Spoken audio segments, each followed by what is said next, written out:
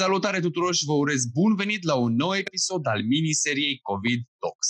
Astăzi avem un invitat foarte special, tocmai din Emiratele Arabe Unite, domnul dr. Călin Pop.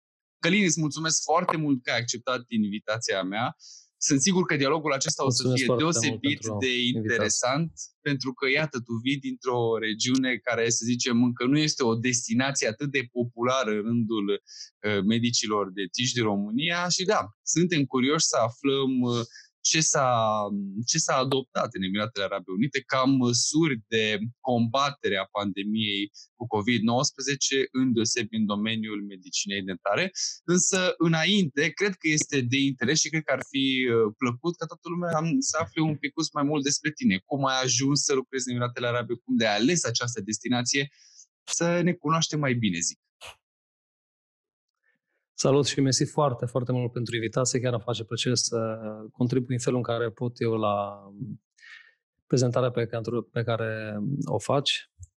Și este un remarcabil efortul tău de a, de a strânge mai mulți medici din toată lumea să te spună părerea. Firește că uh, orice opinie va fi, va fi de ajutor și, până la urmă, este un brainstorming mondial, aș zice, în care părerea fiecăruia va conta și ne va ajuta pe fiecare în particular. Să ne pregătim, uh, sperăm, pentru o reîntoarcere cât mai sigură în cabinetele noastre. Pentru cei care nu mă cunosc, că sunt uh, Călim Pop, am um, profesat în România, mă rog, uh, am avut o am, am avut o clinică în România între 2003 și 2017, clinica pe care o vedeți în imagini și uh, pot spune că a fost o perioadă cu mari satisfacții și am avut norocul să fac echipă cu uh, niște dentiști foarte talentați, inclusiv sora mea, care este un foarte bun endodont și cred că te-a cunoscut în uh, Bogdan în unul dintre uh, seminarele tale, Teodora Pop, din Zalău. Nu știu exact, acum exact, da. Este da, da, suntem, roșu. suntem, A, așa, suntem foarte bun, suntem foarte bun prieteni, sigur. E, e foarte pasionat, e cu microscopul, e... Așa cum trebuie să fie un endodont. Exact ce, exact ce trebuie să fie un endodont în ziua de astăzi. Și este una dintre victimele mele la capitolul Rabardă.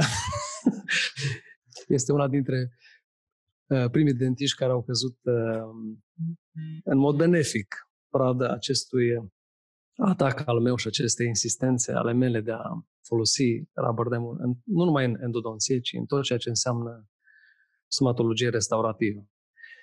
Printr-un, printr-o conjunctură, eu, având așa o, o pasiune pentru zona asta de Emirate și venind mereu la niște congrese care se desfășurau în Dubai în fiecare an, l-am cunoscut pe doctorul Ona Salum, pe care vedeți în imagine aici, și tot dialogând și vorbind uh, și ținând legătura, am decis să, să mă relochez aici, în, în, în Emirate, și să fac o echipă cu el. Și, până la urmă, după, uite, după trei ani de zile, pot să afirm cu, cu satisfacție că am făcut un lucru bun în sensul în care, uite, am reușit în uh, ăștia trei ani de zile să punem la, la, pe picioare un sistem de cursuri over the shoulder, pe care le desfășurăm în clinică. Dr. Ana Salum este un, un, uh, un protectician de excepție cu care fac o echipă fantastică și ce s-a întâmplat a fost că am reușit într-un curs over the shoulder. Știm cu toții că problema cea mai mare la cursurile over the shoulder este de fapt shoulder Adică nu vezi nimic. Știm cu toții. Am, de când eram studenți, când stăteam grupați în jurul asistentului exact. universitar, că nu, practic, nu vezi, nu vezi nimic din cauza umărului celui care explică. Uh, și am pus, am făcut o infrastructură să văd dacă se derulează filmul în cabinet, dacă aveți acest braț robotic, o cameră care filmează uh, un uh, close-up și urmărește, de fapt, o, o încadrare a gurii pacientului, o altă cameră care filmează de, de pe ochelari. Și atunci, într-adevăr, uh, doctorii care participă la curs sunt în cameră, participă activ și este, ca un, este extrem de interactiv, întreb, ți se oferă un răspuns și o soluție la orice problemă, dar și vezi ce se întâmplă. Și se merge și în laborator și uite așa se parcurg toate etapele acestor cursuri de la cele mai mici detalii. Că asta este un alt avantaj, că este un labor, laborator este în clinică și uh, medicii practic pot să meargă în laborator și să, și să întrebe toate detaliile. Am avut surpriza plăcută să avem chiar doi participanți din uh, România la ultimul curs. A fost, Ceea ce este excelent. Am, am, da, a fost extraordinar.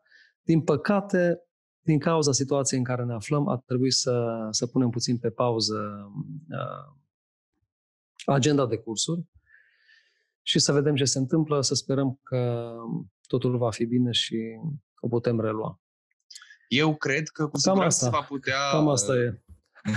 Eu cred că cu siguranță se va putea relua pentru că, așa cum am discutat și în cadrul episoadelor anterioare, din perspectiva mea, în momentul de față, DIGA, sistemul de digă, pare de departe cea mai de bun simț soluție în uh, combaterea da. generării unei cantități masive de aerosoli posibil contaminați cu particule bacteriene, desigur, dar acum iată și cu virus. Și atunci, iată cum uh, majoritatea exact. ar trebui să încerce să adopteze sistemul de digă.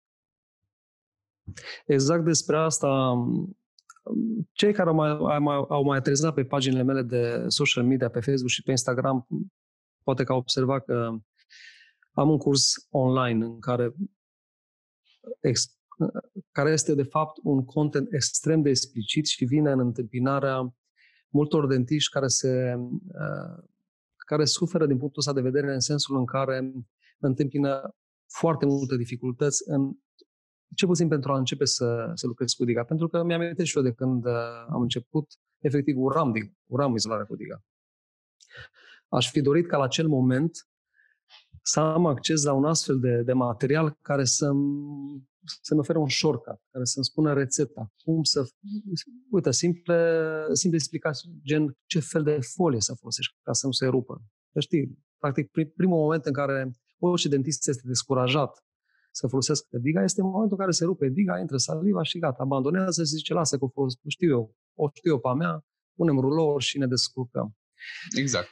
Dar, oricum, ceea ce știm este că în timpul multor proceduri stomatologice, utilizarea izolării cu diga va, izol, va, va, practic, va elimina în totalitate contaminarea cu sânge și cu salivă. Adică, dacă în momentul în care punem diga, deci ne uităm la prima poză, avem salivă, asta e o cavitate, mă rog, dacă avem cavități de clasa a doua, firește că în secunda în care îndepărtez obturația, gingeva începe să sângereze, pentru că va fi inflamată, mai ales când vei avea o obturație debordantă mm. și uh, uh, gingeva va fi inflamată. În secunda în care ai pus diga, saliva și sângele nu mai sunt implicate în câmpul operator.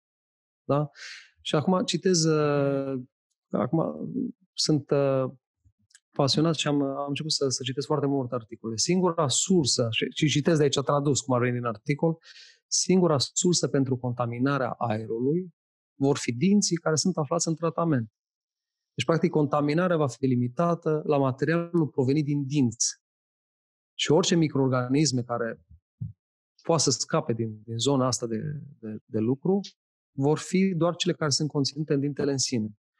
Deci, măcar cu diga scoatem saliva și sângele din ecuație și nu avem decât dintele ca și sursă de contaminare. Și acum, mă rog, am citat din uh, studii, dar vreau să spun un lucru. Uh, nu știu dacă... Acum, noi, suntem, noi dentiștii suntem extrem de practici, da? Asta e natura meseriei noastre. Învățăm, uh, vedem un video, vedem un uh, tutorial, uh, suntem ucenici până la urmă și învățăm de la, de la cei mai experimentați decât noi.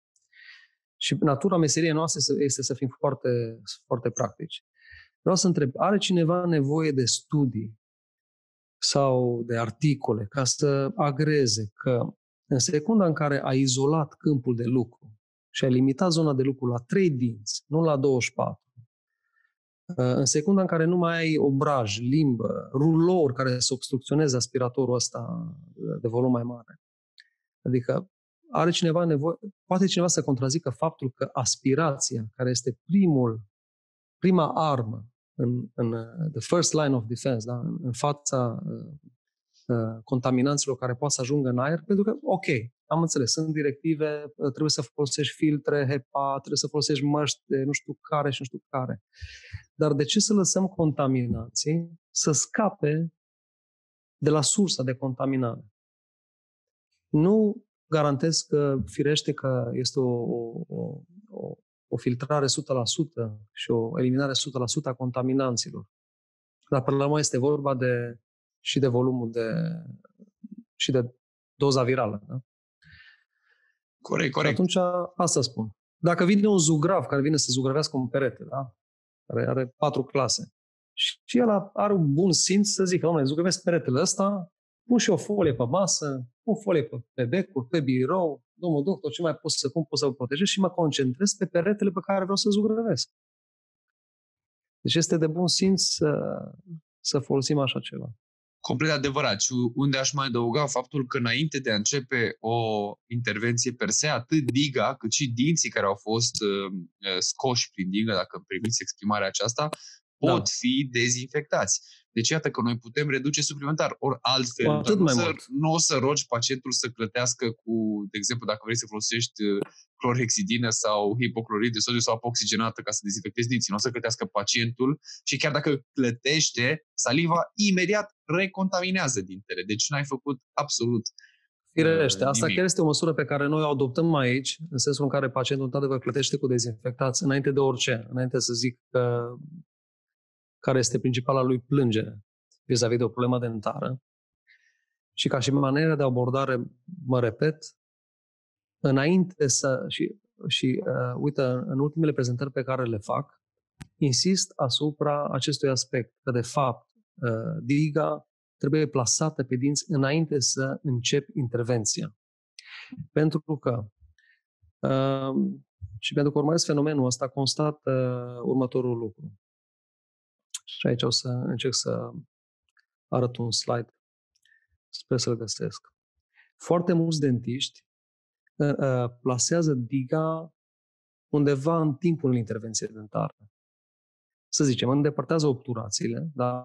pentru că se simt mai confortabil în, în, în felul acesta. Îndepărtează obturațiile ca să, ca să vadă ce se întâmplă, ce fel de cavitate este. Cavitate de clasa 1, de clasa 2, trebuie să prepar pentru onlay, pentru coroană, habar n-am. O să văd, o să decid după ce ex, explorez. Da, după ce da. îndepărtezi decimeți stucariat. Da. După care observă care este situația și plasează diga și continuă cu ce trebuie să se întâmple, respectiv o obturație sau uh, chiar, uite, chiar am găsit videoul și o să încerc să, să-l prezint o secundă, să dau și un share screen. Adică, da, obturație de amalgam și majoritatea dentiștilor nu știu ce se întâmplă, hai să preparăm, hai să explorăm uh, situația. Și undeva, în, într-un caz fericit, da, pentru cei care folosesc diga, mă refer aici, decid să placeze uh, diga și să continue cu uh, intervenția restaurativă. De nu mai știu de câți ani, am uh, schimbat total maniera asta de lucru și am decis să plasez diga înainte de orice. Adică și mai ales acum aplicat la scenariul în care ne aflăm. Pacientul plătește, cum am agreat, și asta sper că este o abordare universal valabilă. Pacientul vine, înainte de orice, plasez diga. Pacientul vine, plasez diga, fără să fac nimic. A, ok, dacă am niște obturații debordante pe care le verific cu coață dentară înainte sau niște contacte care ar și trebuie să anticipez că ar putea să blocheze glisarea uh, foliei de Rotterdam înspre uh, sulcus, acolo unde vreau să inversez și să izolez perfect uh, dinții. Firește că pot să folosesc niște benzi diamantate sau chiar o să arăt un caz peste câteva slide-uri în care chiar reduc desfințesc punctul de contact, pentru că oricum știu că trebuie să fac niște obturații acolo, da? oricum știu că o să le îndepărtez în totalitate. Dar ceea ce vreau să spun este că plasez diga și din secunda asta pot să explorez. Da? Pot să văd ce se întâmplă. Poate că eu credeam că o să fac aici niște obturații și până la urmă s-a decis că o să fac niște onlay-uri ceramice. Dar măcar în situația în care sunt acum, uh, am libertatea să curăț, am, am uh, vizibilitate, am suficient lumină. Ok, haide să o luăm altfel. Să zicem că trăim într-o lume germ-free. Da? Nu, vă, nu ne pasă absolut deloc de contaminarea microbiană sau de virus. Da? Vreau să întreb altceva. Doar din perspectiva felului în care se desfășoară procedura, vă rog să-mi spuneți. Chiar am avut, înainte de acest lockdown, un caz pe care l-am filmat. Nu este mai bine ca limba și obrajii, gingia, să fie retrase și ascunse sub folia de, de diga pentru a vă permite o mai, o mai bună vizualizare. Ale... Uitați-vă la rulourile astea, care efectiv nu pot să le... Deci, eu personal admir un dentist care reușește să lucreze fără diga în cazul ăsta. Eu nu, eu nu reușesc. Îmi pare foarte rău. Pacientul este voluminos, are o limbă mare, uh, hipersalivație și, repet, uh, consider că a pune diga și a avea o mai multă lumină și totodată pentru a proteja pacientul de inhalarea și înghițirea materialului frezat atunci când nu, când se îndepărtează operații vechi sau sunt curățate carile. Repet, are cineva nevoie de articole sau de studii ca să agreze ceva care este atât de frapant și de evident? Sunt curios dacă cineva uh, contrazice nu, cate, categoric, categoric sunt, sistemul sunt să... categoric sistemul de digă din perspectiva mea reprezintă, cum am zis, una dintre măsurile de bun simț care poate acum ar trebui să fie încercate a se împinge la o scară largă. Dar aș vrea să te întreb, pentru că, uh, iată, este evident că nivelul la care uh, lucrați și lucrezi împreună în, uh, în clinică e da. unul ridicat. Însă, actualmente, precizai ceva de un lockdown. Să înțeleg că voi, în momentul de față, nu mai lucrați în Emirate, deci, practic, sunteți opriți din activitate uh, sau vă desfășurați nestingerit modul de lucru? Practic, uh, instituțiile guvernamentale au, nu pot să spun că au uh, interzis cabinetelor medicale să funcționeze, dar a fost o directivă foarte clară prin care s-a, s-a spus că trebuie abordate doar urgențele. Și aici când ne referim la urgențe, asta este universal valabil, e vorba de durere, umflătură, nu știu, lucrări rupte uh, și așa mai departe. Pe de dintr-o altă direcție, s-a întâmplat un alt fenomen care nu știu cât de mult funcționează în alte țări, dar aici oamenii sunt extrem de obedienți vis-a-vis de um, autorități. Poate mulți nu știu, dar aici este un sheikh, da? Și aici când spune sheikul ceva, toată lumea ascultă. Deci, practic, au fost niște uh, comunicări prin care li s-a spus pacienților nu mergeți la dentist, decât dacă arde foarte rău. Am nu înțeles. Pe diverse, pe diverse canale. Sunt, uh, există presă, Facebook, uh, Instagram, uh, pe telefon îmi vin niște notificări automate fără ca eu să accept o notificare. Așa aici, efectiv, îți vine mesajul prin care ești anunțat să faci una sau alta, bineînțeles, în situație de genul ăsta de, de criză. Și firește, chiar dacă noi am fi vrut să lucrăm 24 de ore, nu, de ce mai mergem la cabinet? Nu există pacienți, pentru că pacienții urmează aceste indicații și nu vin la cabinet.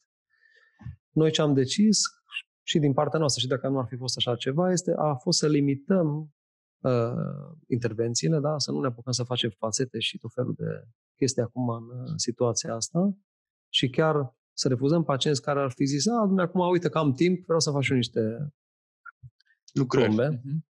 Uh-huh. Că mulți, mulți, uh, cum să spun, adică nu mulți, puținii care nu ascultă regulile sunt tentați să zică, uite, acum chiar am timp. Aș putea să vin la cabinet. Da. Și atunci noi zicem, stai, așa că ce ai tu nu e foarte important acum și poate fi amânat. Și atunci și ce s-a întâmplat? Lucrăm în schimb, adică lucrăm în schimburi. Eu personal mă duc o zi pe săptămână la cabinet. Suntem, acum, într-adevăr, clinica în care lucrez eu are 11 medici. Da? Și ne permitem să, să, să rotăm uh, medicii în ideea în care reușim pentru doar o zi pe săptămână să, să, să fim în cabinet. Pentru clinica cu doi medici ar fi mai greu, da, aspectul ăsta. Și suntem de serviciu câte o zi pe săptămână, în care luăm, ă, luăm urgențele, reale, realele urgențe, și descurajăm pacienții care doar vin la clinică să, să facă intervenții de rutină. Uh-huh. Dar nu există un sistem în care, din câte am înțeles, nu știu, în Franța, dacă mai mai țin că am discutat cu colegi, în care să sune pacientul, să se evalueze dacă este o reală urgență telefonic și abia atunci să se dea șansa acestui pacient să ajungă într-o unitate de tratament. Deci nu există un triaj. Vine la cabinet, apare la cabinet, în ușa cabinetului, da. Nu, nu există un triaj level 0 sau nu știu cum să-i spun, înainte de a ajunge în, mhm. în cabinet. Deci pacientul chiar ajunge în camera medicului și doar medicul poate să decide dacă este o, o urgență de... Deci aici am înțeles. Să zicem că este un uh, nea, neajuns sau un, uh, o abordare mai puțin restrictivă ca și în alte țări, din câte am uh, mai înțeles. Dar, pe urmă, asta e, nu avem ce să facem. În fine, pacientul când apare la cabinet, la cabinet se, înainte să intre în clinică, este dezinfectat, îi se oferă masnuși, completează formularea, îi se ia temperatura, se aplică regulile care sper că se aplică peste tot în lume. Asta se aplică și la intrarea unui, într-un mall aici, cu toate că molurile sunt închise, dar mai intră lumea la o farmacie, la un uh, supermarket și este, este o regulă general, în general valabilă. Din Dar fericire, în, contextul... în Emirate există o, o... Da. Vreau să te întreb, în eu, contextul eu... în care uh, te duci acea zi pe săptămână și tratezi urgențe, tu, uh, în momentul de față, alături de colegii tăi, uh, chiar dacă potenați prin niște directive, ați decis să implementați anumite măsuri de protecție diferite. Mă refer aici dacă voi aveți un echipament special, purtați măști FFP2, FFP3, purtați combinezoane, purtați, eu știu, ceva da, costume da. impermeabile sau așa mai departe? Purtăm, uh, mă, mă, purtăm uh, măștile pe care le-am menționat uh, și ca și uh, o chestie diferită față de ce purtam inițial, în care purtam doar măștile chirurgicale și mai purtăm uh, acele costume pe care le poartă chirurgul. Atât. Nu știu că sunt de impermeabile, dar deocamdată asta purtăm. Eu am încercat să port uh, aceste protecții de zi, scuturile. Viz, viziere, viziere, da. Lucrez cu, lupe, lucrez cu lupe de magnificație 5 și sunt foarte lungi, sunt cam atât de lungi. Și nu reușesc să mi le adaptez. Acum, pe de altă parte, din cauza că lucrez cu lupe care sunt calibrate pentru a lucra dintr-o poziție de lucru care îmi permite să stau la o distanță considerabil îndepărtată față de pacient, pot să spun că sunt mai protejat față de unul care nu are nimic și se aplică, se, se apleacă peste pacient. Corect. Și oricum, uh, aici este, e un detaliu ăsta. Nu, uh-huh. Poate cineva are lupe de 5 și, și din greșeală și-a, și-a ales o distanță de lucru de 30 cm și s-a plecat oricum. Dar în fine, nu știu cum să împart, cum să împac uh, magnificația cu protecția decât, uite, cum lucrezi tu cu microscop sau sora mea sau mulți alți endodonți în care realmente stai drept de spate și la o distanță considerabilă față de pacient. Și atunci te bazezi doar pe mască și pe, pe alte sisteme de protecție. Arma okay. mea este deocamdată diga. Foarte bine. Eu, Foarte eu, bine. Cu asta mă, eu cu asta mă ajut și încerc în cât, prin cât mai multe canale și prezentări și cu riscul de a mă repeta și îmi cer scuze față de cei care mă, mă găsesc uh, repetând ca o moară stricată uh, poezia asta, dar uh, asta este singura modalitate prin care sper să ajungă la, la, la cât mai mulți colegi. Îmi pare rău. S-ar putea ca unii care mă văd pe Nexus să mă vadă și pe mâine pe World Dental, pe chiar o să am un webinar pe World Dental Association cu, despre subiectul ăsta. Nu ai ce să faci. Te repeți fără să vrei și nu ai cum să filtrezi la cine ajunge mesajul aș fi bucuros să ajungă la cât mai mult, la cât mai multă lume și să, să fie cât mai respect. Da, deci înțeleg că niciun da. caz nu se pune problema de nebulizator sau lămpi cu ultraviolete sau... Uh, știu, se pune, se pune. Se pune? Ok.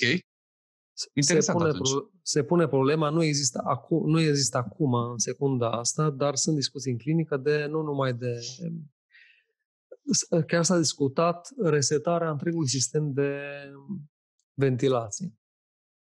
De filtrare a aerului. Că, da, pentru că ce se întâmplă? Știu cum e în România. Noi în România, când avem aerul condiționat, avem un splitter pe perete. Adică avem un compresor afară care răcește freonul care freon vine în sistemul de răcire a aerului condiționat, dar practic tu respiri aerul pe care l-ai tu în camera ta, nu? Da, exact. Deci aparatul ăla care pe perete trage aerul din cameră, îl răcește și îl reîntoarce în cameră. Ei, în Emirate, sistemul ăsta american de condiționat. Nu avem, uh, nu avem, uh, stai că și arăt, uite, pe perete aici sus. Vezi, dacă vezi dunga asta da, da, da. neagră de pe tavan. Ei, exact. E un sistem de ăsta centralizat de, ră, de răcire al aerului, ca și în state. Nu, nu, mai știți filmele astea americane când se ascundeau uh, hoții și mergeau prin uh, niște conducte prin tavan? Exact, da, da, da. E. Conducte de ventilare, exact. Asta e sistemul de, da, asta e sistemul de răcire al aerului în Emirate. Mai cu seamă că aici știți cu toții că uh, este extrem de cald începând din luna mai, să zicem, până prin uh, noiembrie, până la 45-50 de grade în lunile de vârf. Și atunci ai nevoie de un volum foarte mare de, uh, de aer răcit și eficient. Dar vreau să spun altceva. În secunda în care ai un astfel de sistem de ventilație, ești vulnerabil la contaminarea pe care ți-o oferă vecinul. Eu fără să vreau, nu știu dacă este un defect în sistem, dar fără să vreau, din când în când mai simt, nu știu, mirosul de mâncare de la vecinul de pe scară în aerul de ventilație. Corect, e o problemă la de care ce eu nu m-am Asta? Pentru că Uite, eu m-am gândit foarte mult la, la treaba asta, mai ales când am citit despre articolul cu nava cu nava de croazieră. Da, da, îmi scapă unde toți s-au și... infectat pentru că au stat pe, pe nava de croazieră. Ok, okay. deci vorbeam, de, de, vorbeam despre vasul de croazieră, exact cum s-a întâmplat acolo cu aerul, există această problemă și, și la voi și mi-a Da, spus că făceam aveți... o comparație o comparație între sistemele de aer condiționat din România, care sunt pe bază de splitter, care răcesc aerul provenit din cameră, îl reîntoarce, mă rog, îl filtrează, există o sită de aia pe care știm cu toții cum mai curând când ne mai amintim. Dar, în fine, aerul condiționat din România nu trage aer de afară sau din altă parte ca să răcească și să reintroducă în cameră, ci răcește aerul care există deja în cameră. Timp în care sistemul ăsta din Emirate, ca și cel din state, de mai vedem prin filmele cu hoți care se ascund prin prin Bulane. țevile de răcire, așa, într-un fel sau altul face posibil distribuirea aerului din alte camere ale vecinilor în camerele noastre, pentru că eu mă uite, mai simt uh, un miros de mâncare sau chiar dacă e interzis fumatul în clădire în care stau, mai fumează vecinii oprit uh, senzorii și mai fumează și îl mai simt. De unde înțeleg că inevitabil sunt expus la aerul pe care îl respiră, da? Și asta se întâmplă și în clinicile stomatologice, că aici vreau ajung. Eu pot să fiu maniac și eu cu rabardamul meu și să izolez și să țin aspiratorul lângă dinte și în camera mea să fie aerul din Pana Brașov. Eu pot să fac asta, dar nu înseamnă că m-am protejat de colegul care e chirurg în camera vecină și care ia piesa dreaptă și face o nivelare de creastă alveolară cu aspiratorul mic chirurgical, că nu l-a folosit pe la mare, și în camera lui, nu știu dacă știți cântecul Love is in the air. Știți da. cântecul Love is in the air? Love is in the air. Eu am și cântat când eram mai tânăr. Everywhere I look around. Deci ca, cam așa ceva. să fie imnul, imnul, imnul contaminării aerosolilor în, cabinetele dentare. Love is in the air. O să-l propun ca și acest imn, ca un uh, într-o uh, ușor peorativă, dar care să, de fapt, să ne facă să înțelegem că love is in the air. la Correct. modul uh, ironic și... și peorativ. Deci, eu mă protejez, am folosit Rubberdam, este perfect curat la mine în cameră, dar fără să vreau, îmi vine aer de la colegul, care nu e așa de atent decât, uh, ca și mine, cu toate că l-am bătut la cap e chirurg și să zicem că nu are cum să pună rabordam. Există niște limite. Și atunci vreau să ajung la discuția în care se discută să se reseteze tot sistemul de ventilare și să se pună aceste filtre HEPA, care sunt niște filtre extrem de restrictive. La, încă n-am uh, citit uh, foarte mult, dar am înțeles că filtrează particule până la o anumită dimensiune, de nu știu câți uh, nano, micro, în fine, Uh, și măcar atât să se facă în sistemul de circulație al aerului din cabinete. Măcar să nu fie în peste navă în care s-a contaminat unul și a doua zi au fost toți contaminați, pentru că e inevitabil, așa ca într-un avion, da? E același lucru. Da. Odată că ești în aceeași cameră, plus că respiri ce respiră și cel de, din, uh, din locurile din uh, linia întâi. Da, este un fel de social distancing la nivel de adică să mă limiteze eu să respir aerul meu din camera mea. Și iarăși ca o recomandare este că, ok, ai lucrat, îți ai terminat procedura, nu îți da masca jos, pentru că e inevitabil. Acești, acest aerosol va fi contaminat și în următoarele în care tu, de fapt, ai terminat procedura. Chiar dacă ai depus eforturi cu rubber de ce ai vrut tu, aspirând perfect, pentru că mulți dentiști au, uh, se simt protejați în secunda care lucrează. După care își dau jos masca și mai discută cu pacientul, mai fac o programare, mai întreabă o notă, mai fac niște note, etc., fără mască, în aceeași cameră. Nu avem ce face. Trebuie să stăm cu mască toată ziua, dacă se poate, și nu face niciun compromis la capitolul respectiv. Chiar vreau da. să te întreb de lucrul ăsta, pentru că, uite, recomandările în majoritatea țărilor care au emis recomandări în acest sens, pentru că Uh, discutând cu, da. cu tine cât și cu alți colegi, vedem cum există o serie de mm, nu le-aș numi reguli, pentru că nu sunt reguli, directive mai degrabă, care sunt destul de diferite. În țările în care s-au luat măsuri în stomatologie, se recomandă cam peste tot aerisirea, ventilarea încăperii de lucru. Da. Ori lucrul ăsta nu știu cum ar putea să fie posibil în Emirate la 50 de grade. Adică cum ai putea să deschizi geamurile ca să ventilezi când afară sunt 50 de grade? Să știi Pare... că eu făceam asta și cu 50 de grade și cu 45 și cu 60 înainte să fie o pandemie mondială din bunul cum să spun, iarăși revin asupra unor probleme, unul, unui aspect. Noi ca dentiști nu avem nevoie neapărat să vină unul dintr-un guvern să zică, domnule, reseșeți camera. Asta e de, de la sine înțeles, adică trebuie să ne bazăm și pe, pe common sense, da? Eu am șlefuit o oră. Am șlefuit o oră trebuie să aerisezi camera. Eu fac asta mereu. 50 de grade n-are importanță.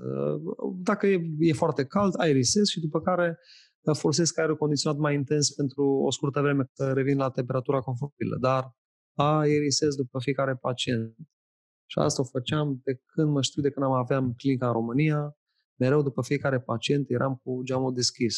Nu trebuie nimeni să spună că acum e pandemie, hai să aerisim pentru, pentru mine, pentru că, pentru că stai puțin, uh, uh, ne-am trezit acum cu virusul ăsta și ne îngrijorăm cu toții, dar scuză-mă, sunt virus mai periculoși decât corona. Noi am e uitat, complet, sunt uh, com, vir, complet, virusii hepatici.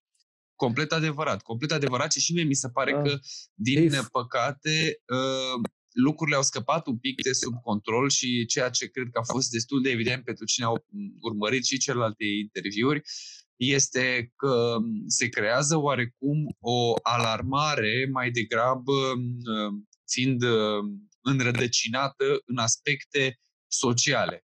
Adică chiar și zile trecute citeam un articol cum în Marea Britanie, și o să discutăm în episodul următor și cu colegi din Marea Britanie, o parte din da. medicii care lucrează cu pacienți COVID au ajuns să fie stigmatizați de către societate. Deci, cumva, faptul că... Da, cum era, cu, să... HIV, cum era cu HIV-ul, dacă minte. Exact, exact deci ceea ce, este complet, ceea ce este complet aberant. Deci cred că deja începem să luăm anumite măsuri din uh, temeri sociale, care nu mai au nimic de a face cu da. medicalul. Da. Ori noi, ca medici, nu putem să ne raportăm la decât la ceea ce cunoaștem și știm. Pentru că, așa cum ai spus, uh, cu siguranță noi știm care este meseria noastră și ce facem mult mai bine decât ar face un politician care poate nici n-a fost la stomatolog de 10 ani zic și eu, un exemplu. Îți dai seama. Da, deși un în ideea asta... Dacă... dintr-un birou care ce, ce face el în plus față de ce facea ieri e că acum citește pe net și el niște reglementări. Da. Și, și, și dacă și tot vor... o ședință 3-4 și zic ei ce cred, da. Dacă tot, dacă tot am deschis subiectul ăsta despre ce fac cei de acolo din guvern, vreau să întreb dacă în Emirate, având în vedere situația asta, de exemplu, tu lucrezi o zi pe săptămână, mă gândesc că automat da. veniturile voastre au fost afectate și uh, da. probabil nu există ca nicăieri în lume un uh, timetable precis cu privire la când anume vom reveni la aparenta normalitate. Ce face guvernul în, în direcția asta? Vă ajută în vreun Nu. fel? Vă asigură protecție în vreun fel? Sau nu există nimic nu, în nu face poziție? nimic, uh, nu face nimic. Aici, și aici mă repet, în Emirate, c- Emiratele seamănă foarte mult cu statele. Ei Au, au importat foarte multe protocoale și feluri de a fi economic și ca business din uh, Statele Unite. Practic, uh, și mai ales pentru simplu fapt că majoritatea business-urilor aici sunt decise, de că, sunt uh, deținute de către localnici, ei, în primul rând, se protejează pe ei. Ok. Și ei sunt, într-adevăr, sunt foarte, asta ei sunt, uh, și asta e un lucru bun, până la urmă, se protejează foarte mult ca și națiune. Prima reacție a autorităților a fost să dea voie tuturor companiilor să diminueze salarii, să dea afară oameni, să facă orice necesar Pentru a-și proteja interesele. pentru a proteja business, business ownerii principal, deci nu angajații. Da, acum asta într-adevăr sună un pic uh, dureros pentru, pentru cei care lucrează, dar pentru angajați, dar asta e regula Ma- aici. Mai ales că... Chiar și în clinică s-au diminuat salariile pe la 50%. Ni s-a cerut să ne luăm salariul, uh, zic, concediu neplătit. Concediu Ok. neplătit. Ca să uh, ușurăm povara financiară asupra și problema este de înțeles, adică, uite, eu am avut clinică, da? Și ce înseamnă și ce înseamnă să, să suport salarii și așa. În, în secunda în care brusc ți se diminuează fluxul de pacienți de la cum erai tu obișnuit să fie, nu știu câți pacienți pe zi și să fie câte unul altul la care se mai rupe câte o provizorie sau îl mai doare câte un dinte și firește că uh, ai de face cu niște manopere uh, dentare neprofitabile, nu e ca și cum mai face fațete sau coroane sau implanturi, firește că în secunda 2 ți-au scăzut profiturile considerabil și nu mai poți să suporți uh, uh, financiar uh, toți angajații și toate cheltuielile și așa. Și acum toată Adevărat. lumea înțelege, nu avem ce să facem. Eu n-am, am înțeles, m-am adaptat, uh, Numai că eu mă Asta gândeam este. un pic la contextul din, din Emirate, care știu că e diferit. Adică, din ce știu eu, uh, majoritatea uh, care lucrează și provin, evident, din alte regiuni ale lumii, ei pot Mhm. locui în Emirate doar în contextul în care le este activă cartea de muncă, nu? Parcă așa e. da, da, firește. Pens- da. Deci, pe cei care au Deci dacă se concediat, ne- de fapt, dacă i-au se- pus într-o situație destul de neplăcută. Eu, cu, cum să mai întorc oamenii acasă? Acum zboruri nu mai sunt, așa. Mi se pare că... Uh, nu știu chiar atât de... Da, ca și regulă generală, într-adevăr, poți să stai aici atâta vreme cât pe viza ta de pe viza ta scrie că e- este o viză de lucru și nu este o viză de turist. Turist, cred că ai, Da. voie, să- ai voie să stai vreo câteva săptămâni, nici nu mai știu. În fine. Dar uh, n- nu s-a pus problema. Încă, încă n-am studiat exact cât de uh, preponderent este segmentul acestora celor care au uh, uh, fost dați afară nu știu asta. Și firește că, acum, chiar dacă este mai dură un pic uh, atitudinea uh, vis-a-vis de sectorul de labor aici, nu cred, nu cred că oamenii au fost uh, puși în situația în care să zică, domnule, gata, de mine pleci, pentru că nu mai ai uh, viză, trebuie să pleci. Cred că există undeva niște atitudini de, mai, mai, mai protective, ținând cont de situația curentă. Dar, de regulă, dacă nu ar fi fost astfel de criză, da, dacă nu ai carte de muncă, dacă nu ai viză de lucru, nu ai ce să stai aici, adevăr. Acum Mhm. nu știu cum e situația asta, dacă trebuie să pleci sau nu din țară și oricum se bate cap în cap cu faptul că e interzis să, să, să călătorești și Da. E, Undeva e un, ar trebui e un să, conflict de interese. să fie să fie preîntâmpinată situația asta de o regle, reglementare în acest sens. Adică mai tre- trebuie să pleci, dar nici nu poți să zbori și atunci trebuie, cineva trebuie să te protejeze în sensul ăsta. Dar în general ce vreau să subliniez este că nu există o protecție din partea statului care să uh,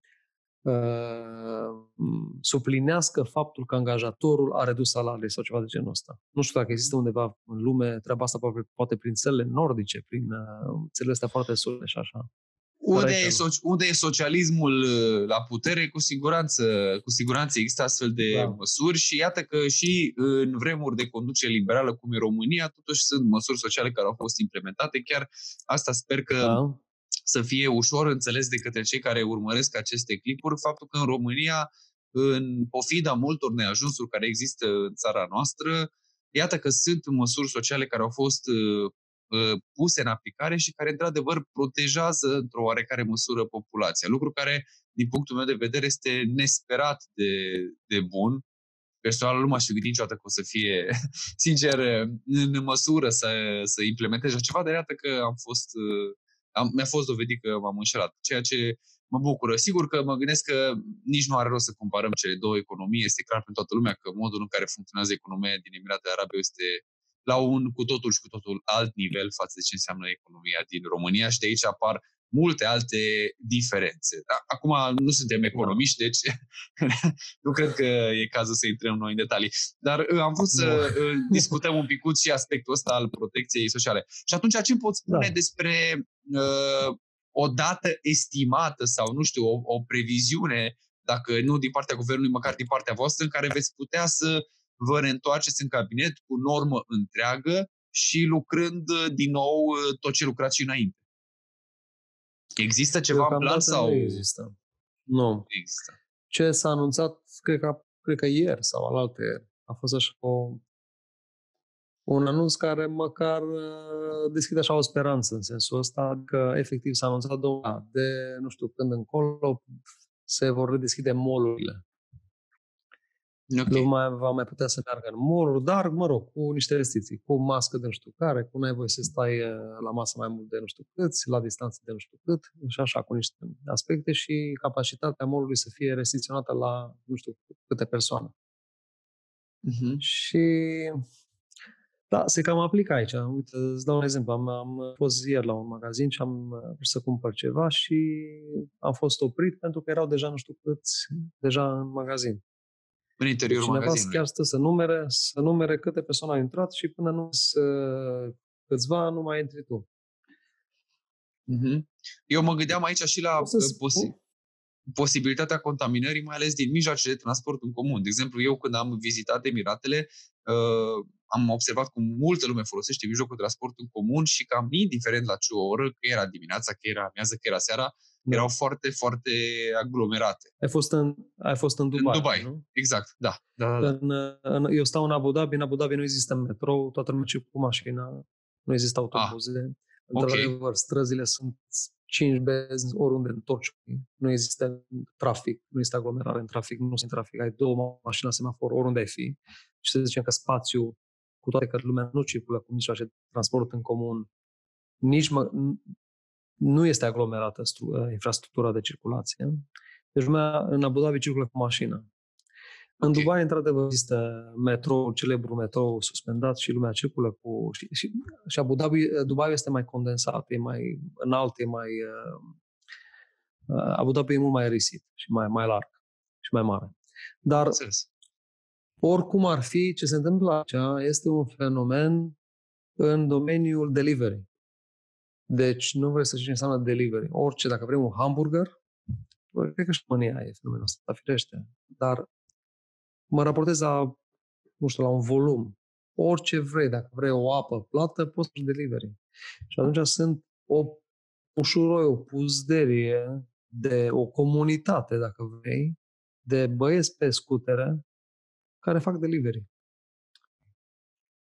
Și, și poți să ai practic orice îți dorești la ușă. Așa, da. Și asta este iarăși o sursă de contaminare. Da. Dar eu privesc că ai observat, că am mai observat că sunt atent la aerul și la... Sunt, am o... Și în general, dacă stau să mă autocaracterizez capitolul ăsta, am o abordare de... Nu știu cum... Există, există meserii se numesc fractology. Ok. Sunt, sunt oameni, oameni plătiți să meargă să se urce într-un avion și să stea să se uite la avionul ăla din toate unghiurile și să simtă unde se rupe, unde crapă, unde, din ce cauză avionul ăla să cadă când va da cu să cadă. ok. Adică da, habar n-aveam, habar n-aveam. Oameni ca, da, da, fractologist, o să te uiți pe uh, Adică oameni care, așa cum un degustător de vinuri merge și ia paharul și degustă vinul și zice hm, da, ăsta e de pe dealul cutare din sudul Franței, partea de vest a dealului, nu ai de est și din anul ăla, nu din ăla și stugul mai semi, nu chiar negru, ca mai roz. E, așa sunt oameni care au niște simțuri exacerbate și înțeleg unde se rupe și unde se va rupe următorul perete din avionul cu tare. Sunt talentați la treaba asta. Sau un, unul care miroase un, un parfum și poate să zică exact toate componentele din parfumul respectiv. Levănțică, aia, aia, fandafir și în ce proporție. Uh, nu mă laud că am astfel de talente, dar uh, mă trezesc de foarte multe ori în situația în care observ și analizez, poate cu o mai mare atenție decât analizează altcineva, un anumit aspect. Cum a fost ăsta cu aerul de care am discutat cu condurile, da? Da. Ei, tot așa stau și mă uit într-un supermarket. Și lumea nu se uită. Și, și că nu se uită. Sunt oameni care stau la rând.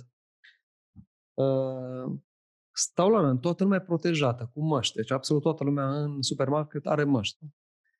Fata de la casă, mască zi, ultimul tip de mască, cu filtre, cu tot ce vrei tu. Are mânuși pe mână. Tu vii cu coșul, ți-ai luat de produsele și ai venit cu coșul. Și tu ai avut tot. O să ai măști și mănuși și absolut tot. În secunda în care ea deschide cutia de la aparatul ei și îți dă restul și pune mâna cu mănușile pe care le are, pune mâna pe bani, îți dă restul sau îi dă restul la... Tu plătești cu cardul, îi dă restul la cel dinaintea ta. În secunda în care cu aceleași mănuși i-a pus mâna pe toate produsele tale și le-a tras pe bandă să facă tic, tic, tic și să înregistreze. Păi în secunda 2, toate dusele care sunt în coșul și respectiv în punga ta pe care tu vii să le aduci în frigider și scuză-mă că nu stai să le ștești pe toate, că n-ai cum să le dezinfectezi, să le sterilizezi, în secunda aia, love is in the air. Sau love is in, the, in your bucket. Corect. Corect, corect. Deci asta, asta... Fac, a, asta este o gândire de fractologist, de, de om care se uită, nu știu, poate nu să eu... o manie sau ceva, dar e o, e o preocupare în a observa niște detalii de genul ăsta. Care și e un, e, un punct de vedere, e un punct de vedere foarte bun pentru că uh, am mai avut uh, discuția asta și iată că noi cei din domeniul medical suntem foarte foarte atenți la lucrurile astea, pentru că noi ca și profesioniști da. înțelegem foarte clar că da, tu știi o pereche... Da, pe telefon, schimbăm mănușa, da. Exact, exact. Deci noi știm că, în schimb ce actualmente, populația a fost îndemnată să caute mijloace de protecție care de fapt îi oferă o senzație de falsă siguranță. Oamenii își pun o pereche de mânuși, o poartă toată ziua și, și cred la telefon. Gata. Da, și vorbesc da, la telefon, da, și la telefon, față, și aranjează ochelarii. Um, dau mâna prin păr. Ei, ei nu au niște reflexe pe care noi le avem și pe care le, le stăpânim inconștient. Adică eu sunt mania cu fotografiile. Fac la fotografii, fac extrem de multe fotografii inevitabil, să-mi dau mănușa jos, da? Îmi dau mănușa jos, îmi dau ochelarii jos. Una pe cameră, am, am niște bouncere foarte mari, le aranjez. Am pus mâna pe bouncere, am pus camera la loc. Ori, mi-au alt, ori le-am întors pe dos și am o tehnică să le întorc, ori, ori mi-au alte mănuși. E, lumea crede că care mănuși s-a protejat. Și în secunda în care ai pus mâna pe o, o, un obiect contaminat, ți-ai dat mâna prin păr, ai vorbit la telefon, ai pus mâna pe volan, ai pus mâna pe cheie, ai pus mâna pe poneu, love da. is in the air deja lucrurile s-au, s-au încheiat. Super. Ne-am împărtășit, ne-am, ne-am înfrățit în secunda 2. Da. Super. Călin, eu îți mulțumesc foarte mult pentru timpul pe care mi l-ai acordat și sper că acum toți cei care ne-au ascultat să fi înțeles un pic mai bine despre cum se desfășoară lucrurile în Emirate și sper că cât mai multă lume să fie dornică după această prezentare să te caute și să încerce să descopere secretele sistemului de digă dentară, pentru că părerea mea personală, părerea mea uh, umilă, este că, într-adevăr, ar trebui, poate acum, mai mult ca niciodată, să încercăm să înțelegem că diga este, uh, într-adevăr, uh, unul dintre cele mai importante mijloace de protecție pe care le putem, uh, putem uh, uh, aborda în practica noastră cotidiană. Și haideți să începem cu asta și apoi să ne gândim și la uh, alte lucruri. exact din cauza asta mai am, uh, da, firește. Insist foarte mult asupra acestui aspect, din cauza asta am lăsat cursul uh, și în limba română. Am început cu cursul în limba engleză, firește, că n-am ce să fac. Am, am vrut să, să mă adresez unui segment cât mai mare, l-am înregistrat și în limba, am tradus, l-am înregistrat și în limba română și este lansat și în limba română. Și ce am făcut în, în perioada asta, am, am acordat un, un discount de 30% pentru, pentru... Acum, cum să spun, într-adevăr, sunt multe webinare gratis și toată lumea e cu gratis și cu gratis și cu gratis. Părerea mea e că cine chiar își dorește un content în care s-au depus niște eforturi și cine a văzut cursul a, poate agrea cu ce spun acum și poate alege că am over-delivered în curs. Nu numai că am lansat cursul cu, cu foarte mare efort și cu foarte multă muncă și ce, ce se vede acolo înăuntru este un content extrem de explicit și vine să, să ofere exact ceea ce aș fi vrut să am eu acum 20 de ani când am început cu Diga și aș fi vrut să, să, să găsesc soluții mult mai rapid și să nu mă, să nu mă bad atâtea probleme de care m-am, m-am, m-am bătut. Și observ asta în comentariile pe care le am pe grup. Că, cursul este pe o platformă în care, de fapt, ce se întâmplă? Uh, comunicăm, dezbatem probleme, se întreabă, se răspunde pe capitole. E ca un... Uh, nu înseamnă că am lansat cursul, ai văzut video și nu mai știu tine nu numai că răspund, dar uh, sunt uh, întrebări care necesită un, uh, un content mult mai explicit decât un simplu răspuns verbal sau scris. Mă duc înapoi, mai înregistrez un modul, mai fac și la uh, încă un uh, video și la dau gratuit în curs firește. Cine deja a cumpărat cursul va beneficia lifetime de orice înseamnă noutate pe care eu consider ca fiind relevantă vis-a-vis de rubber, vis-a-vis de izolarea cu diga, și o voi adăuga în curs ca și bonus gratuit. Recent am uh, adăugat un bonus în care explic fiecare mișcare pe care trebuie să o faci cu mâinile în, în momentul în care pui clemene. De ce trebuie în, într-un anumit moment să ții forcesul cu mâna stângă, nu cu dreaptă, să, care deget îl pui pe clemă, cum pui, uh, uh, cum abordezi cum, cum pui folia? De ce nu trebuie să mergi către dintele de ancorare, ci trebuie să mergi în mijlocul uh, gurii și de acolo să te duci pe dintele de ancorare ca să nu întinzi folia? Deci mă duc atât de mult în a explica fiecare detaliu relevant ca să ușureze și să ajute medicul să nu aibă eșecuri care să-l determine să, renunțe. să fie uh, descurajat. În, în, să renunțe, că până la urmă, până la urmă asta se întâmplă.